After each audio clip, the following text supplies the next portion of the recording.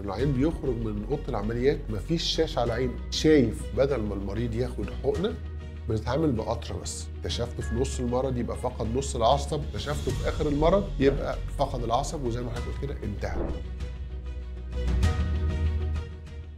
أهلا وسهلا بيكم. أنا هشام حبيب وإحنا هنا في ميديكا زون بودكاست. برحب بدكتور كريم مجدي. ازيك يا أنا أعرف نفسي بقى. أنا. كريم مجدي أستاذ مساعد طب وجراحة العيون. وزميل كلية الجراحين الملكية في جلاسجو قلت عشان أوفر عليك كل مرة إيه؟ عشان مرة أنت ومرة أنا. اتشرفنا بيك جدا. إزيك يا إتش؟ وحشني بنستنى حضرتك من كل لقاء. حبيبي يعني أنا ببقى جاي مخصوص ومبسوط إن أنا هقابلك النهارده. إحنا اتشرفنا جدا بحضرتك. احكي لي عندك إيه النهارده بقى؟ آه، خلينا نسأل الاسئله اللي بتسأل كتير من ال- المرضى وحاجة الصراحه حساسة شوية هي العين الكرا المخروطية. آه. دي آه، مشكلة كبيرة عند ناس وفي ناس كتير بيشوفوا إن هي يعني في دكاترة أنا عرفت من بعض أصدقائي بيخلوهم يفقدوا الأمل في علاج المشكلة دي.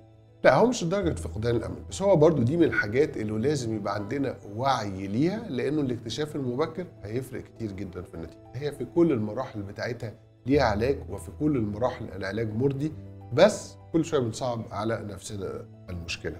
القرنية المخروطية مؤخرا ابتدينا نسمع عنها كتير لأسباب. أول حاجة إنه بقى عندنا وسائل أكتر للتشخيص فبقينا ناخد بالنا الموضوع ده. الحاجة التانية مع كتر الناس اللي بتعمل ليزك ابتدينا ناس كتير نعملها فحوصات قرنية وبالتالي ابتدينا نكتشف المرض ده بدري. وفي في الآخر ناس ما كانش المفروض يعملوا ليزك وعملوا ليزك بالغلط أو ما توصف لهمش الطريقة الصح وبالتالي دخلوا في موضوع زي القرنية المخروطية. ايا كان يعني إيه قرنية مخروطية؟ القرنية المخروطية معناها إنه الأنسجة الطبيعية بتاعت القرنية هي شد على نفسها تبقى مترهلة. سايبة فيبتدي زي ما واحد يطلع له كرش القرنية بتاعتنا يطلع لها كرش. تبرز لبره. طيب. مشكلتها إيه بقى؟ إنه أول ما تبرز كده تبقى الصورة مش كويسة. زي لما تخش الملاهي فاكر زمان كان في الاوضه بتاعت المرايات؟ تلاقي الصورة منبعجة. ليه؟ لأنه المراية مش عدلة. ونفس الكلام. لما القرنية بتاعتي ما تبقاش مدورة كفاية تبتدي الصورة تبقى مش كويسة فابتدي النظر يقل شوية شوية. الحاجة التانية إنه المرض ده ما بيثبتش. في ضغط من العين جوه ضغط من السائل بتاع العين ويبتدي كل شوية قرنية. فنظري ضعيف وعمال يقل. طب أنا أكتشف إزاي؟ أو أنا كدكتور ألفت نظري إزاي؟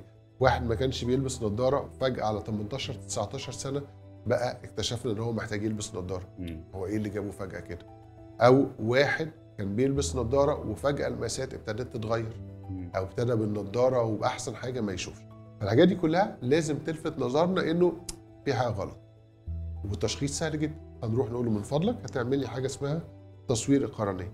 التصوير القرنية ده هيقول لي هل اللي إحنا فيه ده طبيعي ولا بعد الشر قرنية مخروطيه تاني الاكتشاف المبكر هيحطنا في حتة تانية خالص. دكتور يعني- بقدر اكتشف ده إزاي؟ يعني هل مثلا آه، بشوف صورة زي ما حضرتك بتوصف مثلا هل أشوف صورة منبعجة مثلا بشكل ما ولا بيبان في صورة ضعف نظر بس أو؟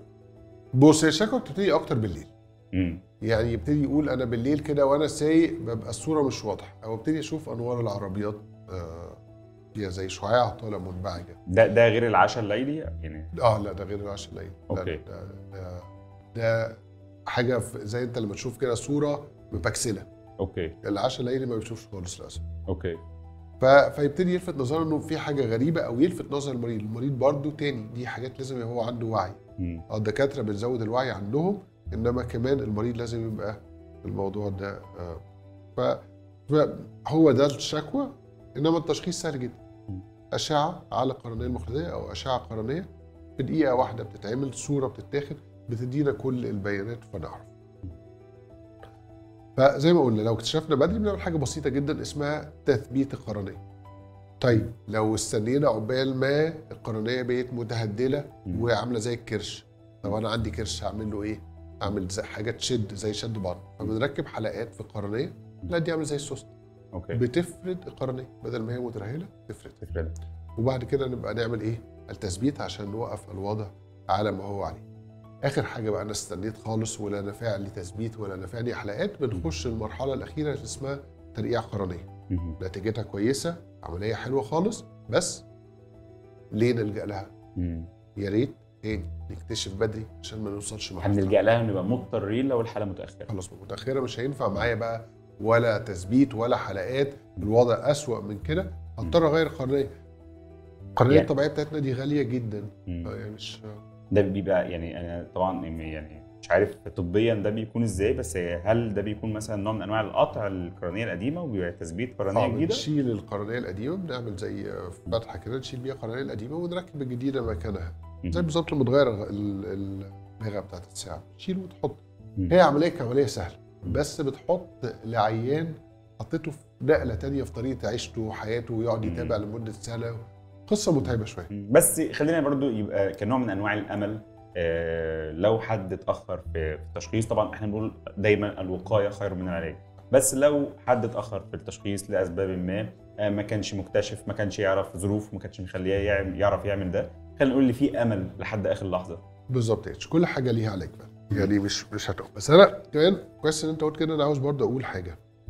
إنه دي بنشوفها كتير جدا في مرضى القرنية المخروطيه بقى مم. القرنيه المخروطيه من الحاجات اللي حدود العلاج مختلفة. يعني إيه يعني في دكتور يقول لك تثبيت دكتور يقول لك حلقات تثبيت وحلقات أو حلقات يعني combination مختلفة أو ممكن يعمل ليزر وتثبيت في حاجات كتيرة جدا من الحاجات اللي اختلاف الأطباء فيها وارد مش مم. معناها إنه ده صح وده غلط معناها إنه أنا في إيدي. التكنيك ده بيجيب نتيجة أنا مم. بفضله للعيان بتاعي.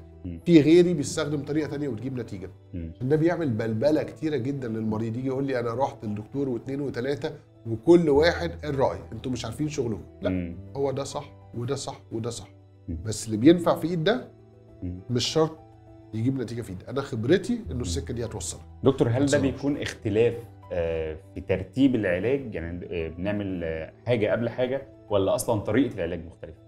الاثنين يعني في ناس تعمل زي ما قلت حضرتك في ناس تعمل ليزر مم. وفي ناس تقول لك لا الليزر ده ممنوع تماما ممنوع على القرنية المخروطية آه. بالظبط مم. خلاص بس هو يعمل ليزر ويعمل معاه تثبيت مم. هو في آه، خبرته إنه الليزر ده بيقلل شوية من الكرش ده مم. يظبطه مم. ولما يعمل تثبيت بعد كده يوقفه فهي مدارس مم. وكل واحد بيشتغل في حاجة اسمها evidence based medicine. يعني الطب اللي مبني على الايفيدنس أو الدليل. دليل خلاص؟ يعني إيه؟ يعني أنا عملت 100 حالة ونشرت الكلام ده في بحث في آه، جريدة طبية أو مجلة طبية دورية. محترمة. خلاص؟ بتقول إنه النتائج دي 1 2 3 بتجيب نتيجة. فأنا كدكتور هشوف المرجع ده والمرجع ده والمرجع ده.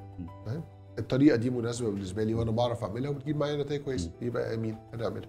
فده evidence based فدي من حتت الطب اللي هي فيها. حتت رمادي.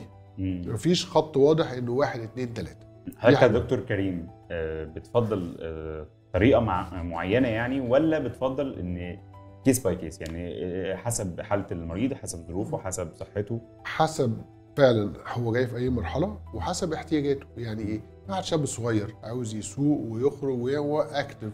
غير واحدة قاعدة في البيت آه ست بيت في منطقة ريفية كل احتياجها إن هي يا دوبك تقضي مشاورها. فالاختيار مبني على احتياجي أنا والحالة اللي أنا فيها. نقدر نختار. يعني مفيش خطوط واضحة مين ده هتقول له إيه وده تقول له إيه. يعني نقدر نقول هي case by case أو يعني حالة بحالة ان يعني. الحاجات دي أصلا بتعمل مم. بلبلة للعيان. إشمعنى يعني؟ آه أو اشمعنى قريبي؟ قلت له تعمل تثبيت وانت جاي النهارده تقول لي حلقات. أو دايما دايما مقارنات والمقارنات دي بتحطنا في المشكلة اللي بتحصل على طول إن أنا آخد الدواء اللي حد تاني يرتاح عليه طبعا. دي مشكلة مش كبيرة مش نفسها. مش حلو. آه، دكتور آه، من من القرنية ومن ترقيع القرنية آه، المخروطية يعني لزراعه العدسة. آه. إيه الحالات اللي بتحتاج زراعة عدسه وإيه خطورة العملية؟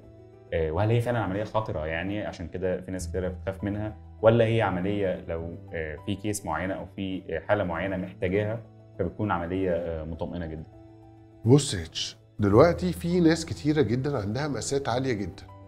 أو في ناس عندها مشاكل في القرنية إنه يفضل إن إحنا ما نقربش منها. ونفسهم في نفس الوقت يقلعوا النضاره. الناس دول مؤخرا بقى في عدسات كتيرة نقدر نزرعها جوه العين تحل المشكلة دي. وأنت لو تاخد رأيي أنا هفضل ده عن الليزك ليه. الليزك غيرنا في شكل العين. غيرنا حاجة.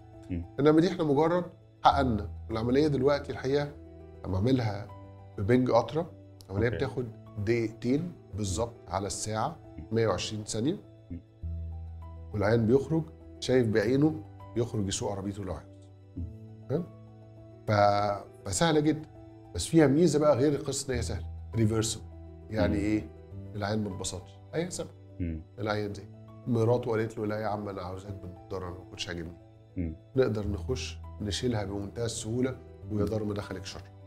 فميزة إن العملية تبقى reversible دي كويسة مم. الليزك ده خلاص خلاص هعمله لازم آخد قراري الصح. عشان العيان بتاعي يبقى مبسوط. ما فيهوش خط رجعة. إنما زرع العدسات ده سهل فهو إجراء جميل جدا reversible بيجيب نتائج حلوة جدا. لا تقل عن مستوى الليزك ليه أرضية قوية جدا في الناس اللي ما ينفعش معاهم ليزك عيبه الوحيد في الظروف إن هو تكلفته أعلى شوية. إنما لو تسألني لا أنا أفضله طبعا. هي حضرتك بتقول هي آه، بتبقى حق يعني العدسة نفسها بتكون حقن مثلا مادة جيلاتينية أو حاجة؟ آه هي العدسة بتبقى حاجة شفافة جدا زي العدسات اللاصقه زي آه العدسه هي اسمها آه، اسمها ICL intra cameral lens okay. خلاص؟ فالعدسات دي بتتبرم زي محقن صغير جدا okay. وبتتحقن تفرد نفسها قصاد العدسة الطبيعية بتاعت العين. مم. فيبقى العدسة الطبيعية بتاعت العين اللي موجودة عندي بتساعدني في القراءة والعدسة الجديدة اللي حطيتها دي تخليني تشوف من بعيد. فأشوف من بعيد ومن قريب من غير أي حاجة. فزي ما قلت لك هي عمليه بالظبط؟ هي بتتحقن تحت الطبقة الزجاجية اللي موجودة على تحت؟ تحت النني بتاع العين اللي هو الحتة البني بحيث إنه ما تبانش. يعني العدسات القديمة ودي لسه ليها مكان دلوقتي آه،. آه، في العمليات بس دي لو بصيت كده مم. ممكن تشوفها. العدسة الجديدة دي ال ICL دي ما تبانش خالص دي موجودة خلف الحدقة فما تبانش يعني حتى. لو قربت مش مش هتقدر دكتور خليني. أسأل حضرتك سؤال خطر على بالي طبعا بما إن في آه، نسبة كبيرة من اللي يسمعونا وبيشوفونا من الستات أو البنات العدسات دي في منها عدسات ألوان زي ما بقول لك، دي ورا النني فمش هتبان آه يعني حتى لو هي ملونة مش هتبان لا بس هو الطلب ده. بنواجهه كل يوم. في عمليات فعلا لتغيير لون العين آه دي كنت هسأل حضرتك عليها وطبعا دي آه، الحقيقة أنا سمعت من أكتر من دكتور اللي هي فيها نسبة خطورة طبعا خطورة عالية جدا مم. تاني إحنا في كل المقابلات بنتكلم على risk benefit. طب أنا نفسي عيني تبقى لونها مختلف عدسات لاصقه ملونه حلوة خالص مم. إنما إن أنا أحط ألعب جوه العين بحاجة تجميلية بالدرجة دي لا إحنا بنحتمل خطورة قد تصل إلى فقدان البصر. بس فقدان البصر ده تبقى العين مؤلمة يعني مش شايف بيها وكمان بتوجعني. فأنا مش شايف الحقيقة أي سبب يخليني آخد مخاطرة زي دي صح يعني آه، صعبة. جدا دي وخصوصا إن في بديل حتى العدسات اللاصقة يعني بالظبط. يعني مهما حصلت مش هتحصل منها مشاكل زي اللي بتحصل من دي مم. وان كانت ما, ما- تفضلش برضو آه، كل آه. يوم. في ناس بتعتاد عليها طبعا آه، كل يوم لكن هي ما تفضلش يعني كل يعني يوم. بقى يعني إحنا في مجتمع مهم جدا المظهر وكده وال- والناس من حقها. صح. يعني من حقك إن أنت تقول طب أنا نفسي يبقى كده أتغير. أنت حر. طالما في الحدود المقولة طالما تحت إشراف طبي. مش مشكلة. آه، بس حضرتك لفت نظري لنقطة يمكن حضرتك آه، من القلائل آه، بتتكلم عن النقطة دي آه، وهي فكرة التخدير. آه، طبعا في تخدير بالقطرة وفي تخدير آه، آه، الحقنة يعني. آه، يمكن حضرتك تتكلمنا أكتر في النقطة دي. ماشي. إحنا آه بقالي يمكن دلوقتي خمس ست سنين أوكي. نقلت تخدير العمليات بتاعت المية البيضاء وزرع العساد كله بدل ما المريض ياخد حقنة. بنتعامل بقطرة بس. مم. القطر دي فيها مميزات كتيرة جدا. أوكي. اولا وقت العملية بيبقى أقل. ثانيا مخاطر الحقنة إنه صحيح هي نسبة قليلة بس مخاطر الحقنة تبقى مش موجودة مم. الناس اللي بياخدوا أدوية سيولة في عينين مثلا آه الميه البيضاء دي بتيجي لناس كبيرة. وارد يبقى عنده مشكلة في القلب أو أي مشكلة تانية مضطر ياخد دواء السيوله مم. لما بدي البنج حقنة حقنة. لازم أوقف دواء السيوله فده آه. يحط ريسك. لما بدي بنج قطرة خلاص مش. مهم امشي الأدوية بتاعتك عادي ونقدر نعملها؟ الحاجة يمكن الحلوة جدا والمهمة جدا ان العين بيخرج من أوضة العمليات مفيش شاشه على عينه شايف. آه دي مش ميزة قوي لحد عنده عينين الاثنين بس بعض المرضى بتوعنا بيبقوا عندهم عين لأي سبب حصل فيها مشكلة ما بتشوفش. فيبقى هو اعتماده على عين واحدة. لما أجي أنا بقى أديله بنج وأخرجه وهو مغطي عينه أربع ساعات من الرعب والعذاب بالذات لو العين الأولانية حصل لها مشكلة من العملية مم. لما يخرج وهو شايف اولا هو مش محتاج حد يسنده وهو خارج عارف إحساسه. تاني حاجة إنه ما عندوش الرعب بتاع هو أنا إيه النتيجة هتحصل؟ لا أنت عارف النتيجة على طول. مم. آخر حاجة يمكن دي بقى بتبقى ممتعة للجراح إنه ساعات بيجي عيان وده بنشوفها في الصعيد أكتر. العيان نتيجة آه الإهمال وعدم ألوعي استنى لغاية لما المية دي تبقى مستوية جدا. فهو داخل مش شايف بعينيه الاتنين مسحوب. فاهم وتيجي تشيل له الميه البيضاء فيبقى خارج فجأة حاجة محروم منها بقاله سنين وفجأة شايف أنت لا تتخيل كم الإبهار إنه يعني ما كنتش شايف وبقى فجأة بقيت شايف وفجأة بقيت شايف سليمة شايف ناس وشايف بني. آدمين وشايف حاجات يعني العيانين دول لما بيخشوا مش كتار اللي هو يبقى عنده العينتين بس لما بيحصل عيان زي كده بيبقى مصدر بهجة في أوضة العمليات. صدقني العيان بيبقى خارج عاوز يبوس كل حد قدامه من كتر. إيه ده أنا صحيح. شايف مم. لا نعمة كبيرة ف... فدي ده تطور جامد جدا وبيفرق كتير جدا. آه، دكتور والحقيقة فعلا يعني آه، حضرتك من الدكاترة القلائل اللي بتشتغل بالطريقة دي بتشتغل بطريقة ال- القطره أكتر أو بتفضل القطره وإن كان ممكن حضرتك ان كيس يعني ممكن حضرتك برضه تقول لا في حالة معينة ممكن الحقن نلجأ للحقن بما إنها وسيلة موجودة نقدر نلجأ لها يعني بس فكرة التفضيل للقطره ده ده شيء آه، حتى نفسيا على آه، نفسية المريض يعني إن. هو الخوف طبعا يعني إن أنا آخد أحس إن أنا باخد حقنة في عينيا دي حاجة مؤلمة يعني. بصوا زي ما أنتوا بتقولوا الاثنين موجودين. مم. بس يعني لو حسبنا لا معظم العيانين بتوعي بياخدوا البنج القطري إمتى بقى بدي البنج الحقنة؟ في عيان تلاقيه داخل قلقان خايف آه مش مطمن. هي في الآخر حاجة مم. نفسية. لو أنت خايف مهما عملنا لك إيه مش هتبقى طول ما انت مطمن بالعكس أنا بقول للعيان إحنا داخلين هنقضي وقت حلو مع بعض. هنتكلم نهزر آه بنشغل مزيكا في اوضة العمليات. نسمع بتاع. فبتبقى التجربه لايت على البني آدم غير إن هو يخش أنت داخل عملية ثبت نفسك ما تتحركش ما تعملش عبء نفسي وأنا دايما بحب إنه أفكر في الجانب ده. بحط نفسي ناحية العيان هو أنا كنت أحب إنه الناس تعملني إزاي؟ صح. تطبطب الجانب عليا؟ النفسي طبعا للعيان. بالظبط تطبطب عليا ولا أحس إن أنا قلقان تبقى ماشي في طرقه العمليات شايف الناس قاعدة وكل واحد حاسس إن هو يعني إيه هياخدوه يتذبح من. الخوف. هي كلمة عملية أصلا عامة بتخوف. بتخض حتى لو حد عايز يعمل لوز اي حاجة بسيطة بتخوف. بتخض. بس بس إحنا بنحاول ننشر الوعي ده إن هو يا. جماعة لا تعالى وانت عارف إن أنت حياتك هتختلف. هتتغير للافضل آه يعني. خليني أحكي لك قصة. لو يعني عندك وقت؟ عندي وقت. عندي عيانه جات لي عندها 80 سنة. مم. القصة دي بقى لها 10 سنين النهارده. تمام. كانت عندها 80 سنة. طيب كشفنا حضرتك عندك مية بيضاء يلا نعملها. أنا هعيش قد ما عشت.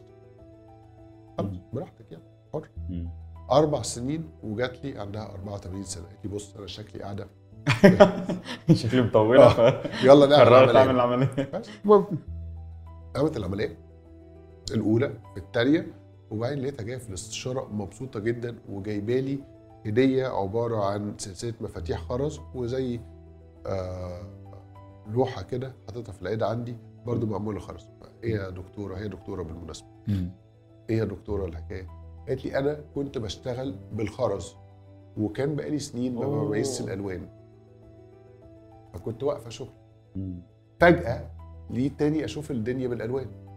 فرجعت أعمل فاول حاجة عملتها بقى قلت أعملها لك. القوي بقى في القصة إنه كان عندي ناس كانت بعتلي بقى ناس قريبة القصة دي بقى لها 10 سنين. فبيقولوا لي دكتورة فلانة بتسلم عليك يا ما ما شاء الله من 10 سنين يعني يعني 90 يعني عندك 94 سنة كده ولا حاجة ما شاء الله يعني آه يعني آه. ابتدينا القصة من من 10 ساعة. ما ابتدينا آه. لا ما شاء. الله فلا ده بتفرق في الحالة النفسية جدا يعني صح الواحد لو هيعيش يوم يعني هيعيش يوم يشوفه يستاهل انك تعيش مبسوط صح يستاهل انك تعيش مبسوط أنا بقول أنت هتعمل حاجة هتفرق في حياتك هتخليك تشوف الدنيا اتش دي في 8 كي يا دكتور. و 16 كي لا اشتغل معانا شوية. دكتور آه، ال... ال... إحنا عندنا في مصر آه، في بقى في وعي بشكل كبير جدا. آه، دايما آه، بنسعى حتى إحنا آه، كميديكا زون نسعى ان يبقى في وعي عند ال- المرضى عند ال- الناس بشكل عام وننشر الوعي ده عن طريق الفيديوز عشان يوصل لكل حتة. آه، بس لحد النهارده في ناس مش عارفة طب هو آه، إيه المية البيضاء وإيه المية الزرقاء؟ آه. و طب دي اسمها بيض عشان بيبقى لونها أبيض دي اسمها زرق عشان بيبقى لونها أزرق. طب إيه خطورة ده وده؟ طب هل في حاجة ممكن نصبر عليها حاجة لأ؟ فدي دي حاجة مهمة جدا.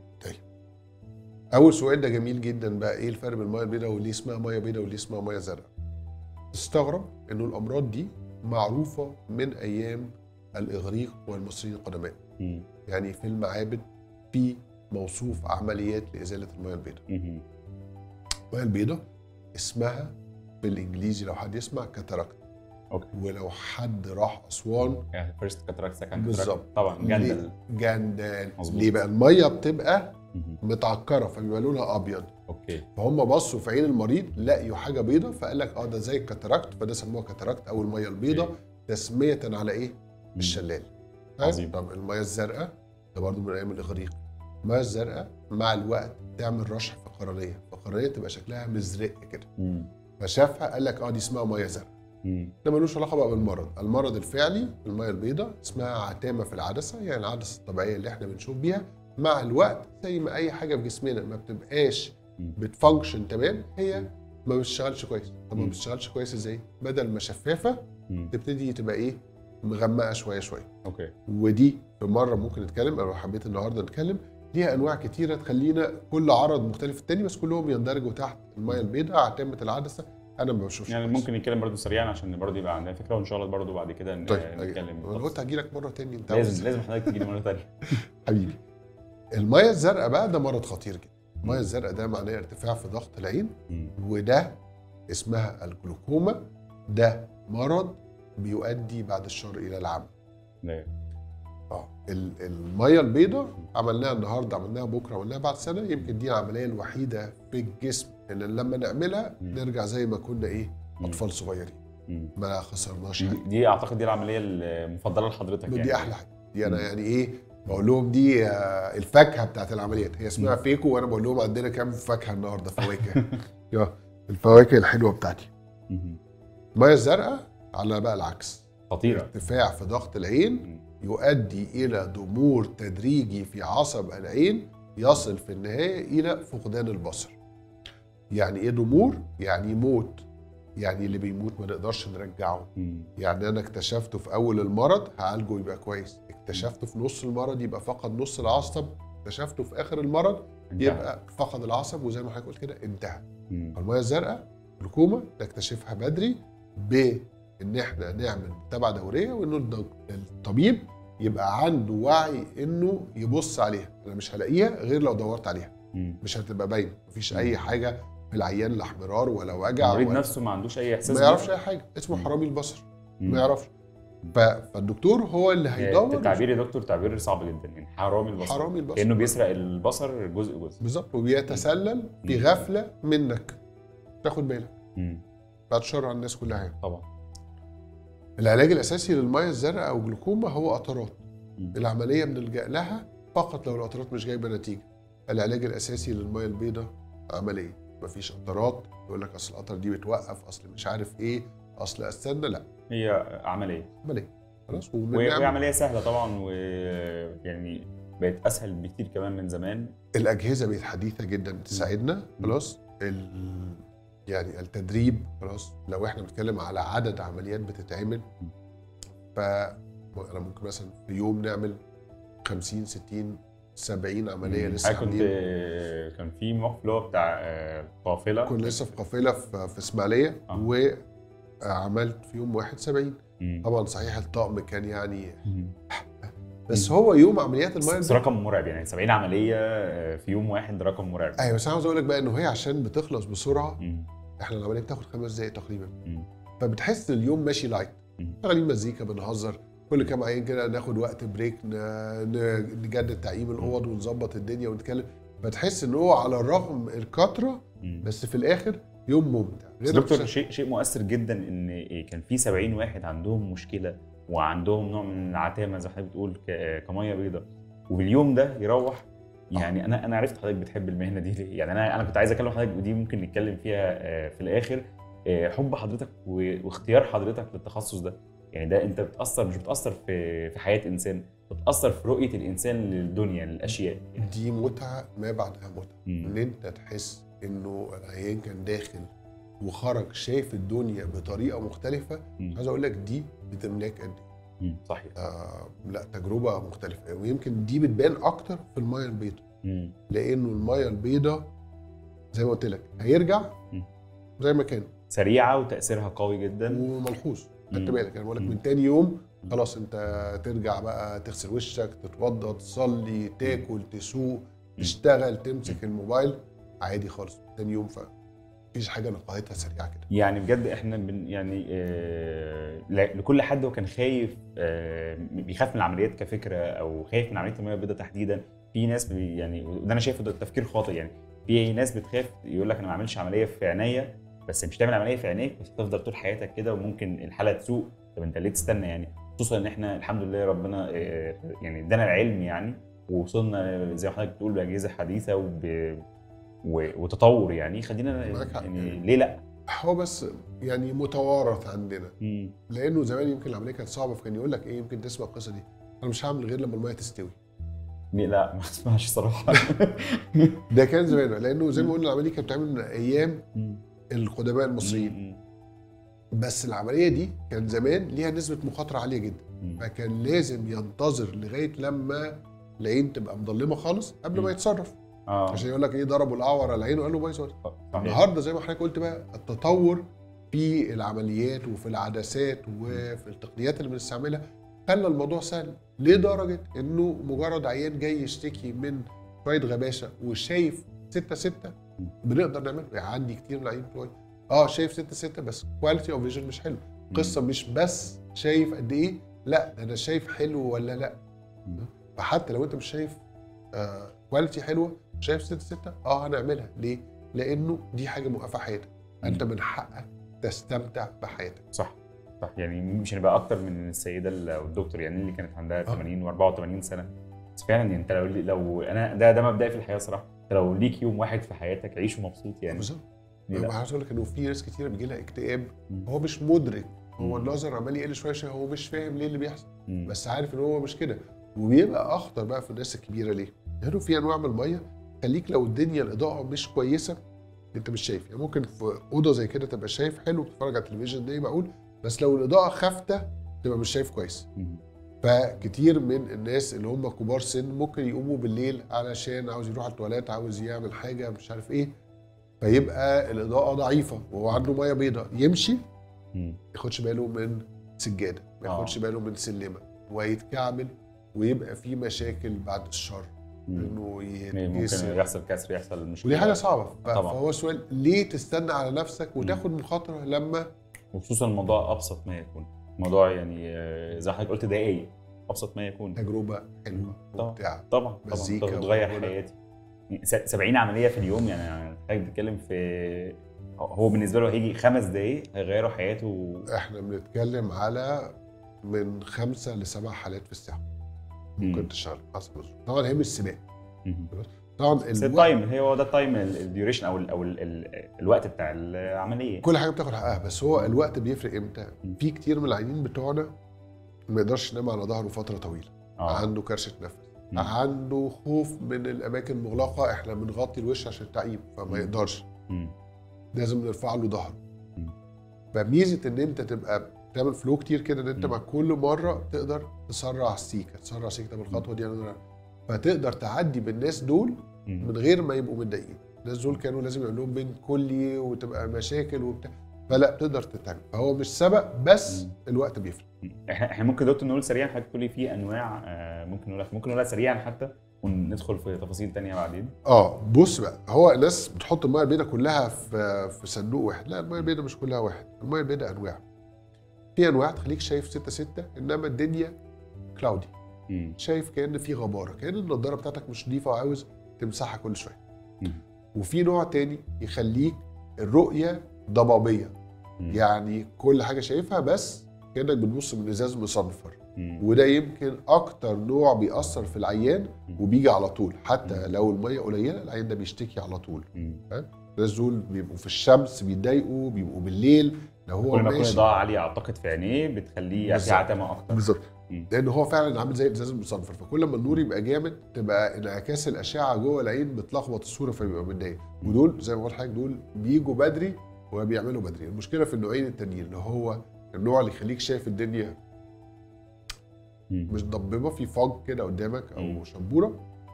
والنوع التاني بيجي نتيجة عتامة في مركز العدسه وده بيخليها بني.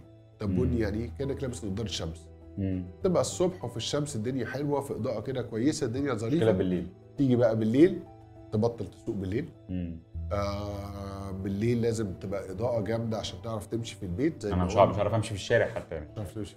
فدول دول دول أكتر ناس بيكتئبوا لأن هو هو متخيل إن هو شايف كويس مم. هو مش عارف إن هو فقد جزء كبير جدا من الإضاءة اللي داخلة العين ما بيشوفش بيها. فهو دول باختصار الثلاث أنواع مش كل الناس عندهم ما بين كلهم عندهم نفس الشكوى. ده شكوى ده غير ده ده غير ده. ولما بيجي العيان بشرح له حضرتك عندك النوع الفلاني ده عامل لك واحد اتنين تلاتة فيقول لي آه. لما العيان بيقول لي آه بقول له طب يلا إحنا محتاجين عمليه ساعات أقول للعيان حضرتك عندك المية البيضاء الفلانية دي أعراض المية البيضاء الفلانية إن أنت هتبقى وأنت سايق بالليل شايف آه، شعاع وأنت خارج في الشمس مش شايف وأنت بتكتب مش شايف فاحس العين اتردد. فافهم الميه البيضاء دي لسه ما وصلتش للمرحله اللي هي تأثر عليك مم. أثرت عليك؟ قرار يلا عملية سهلة مش تاخد وقت. مش مأثره مفيش مشكلة بس كل أربع شهور تعالى نتقابل نطمن الدنيا ما بتزيدش. طيب دكتور بجد مستفيد جدا من حضرتك. طيب أنا حابب أعرف زي ما قلت لحضرتك ليه حضرتك اخترت آه، طب وجراحة العيون؟ بص بص أنت آه لو سألتني أكتر حاجة بحب أعملها إيه في الدنيا؟ هو شغلانه الشغلانه دي مشبعة جدا. ليه بقى؟ لأنه أنت عندك جانب طبي. الجراح بيشوف بيستأصل بيقطع. دكتور الباطنه بيشغل مخه يحط معلومة جنب معلومة جنب معلومة عشان يوصل لتصور ويحط خطة علاج المرض. فدكتور العيون بقى عنده الاثنين أنا قاعد في العيادة بتاعتي بشوف أمراض وبشخص وبدي علاج وعندي استمتاع تام إن أنا أتابع المريض بتاعي ويبقى في علاقة شخصية بيني وبين المريض قد ما بعض. وفي نفس الوقت عندك عمليات نتائجها. تحس بيها على طول. ما كنتش شايف بقيت شايف. كنت بلبس نظاره وفجأة أنا قاعد على البحر بجري وبلعب من غير نظاره ومبسوط. فكمان مش بس بتعمل عمليات لا ده أنت بتعمل عمليات بتأثر في حياة البني آدم 180 آه، درجة. صراحة في كلمة حضرتك قلتها أشعرتني يعني ما كنتش شايف بقيت شايف. آه، يعني لا، دي, لا. دي حاجة مرعبة. لا لا دي نعمة قوية جدا. أنا. فعلا لازم مرة يبقى كده وهتفرج الإحساس الإحساس حاجة أنت بتشوف ده كل مرة بتشوف بتشوف في عينيهم كل مرة. آه، إزاي إزاي حالتهم النفسية تتغير إزاي حياتهم تتغير دلوقتي يمكن مفيش ناس كتيرة بيستنوا على المية لما تستوي كده. بس في الصعيد بيبقى فيه حاجات كتيرة آه، كده بس بتحس بس كمان برضو دي فرصة إن أنت تحس قد إيه إن أنت صغير وقليل وتحس إنه كل مرة بتخش حاجة زي كده. بتقوي علاقتك بربنا. طبعا. إنه أنت كبني آدم ضعيف وإنه نعم ربنا علينا كتيرة جدا وانه يقدر يدينا الحاجة دي. سبحان الله صح.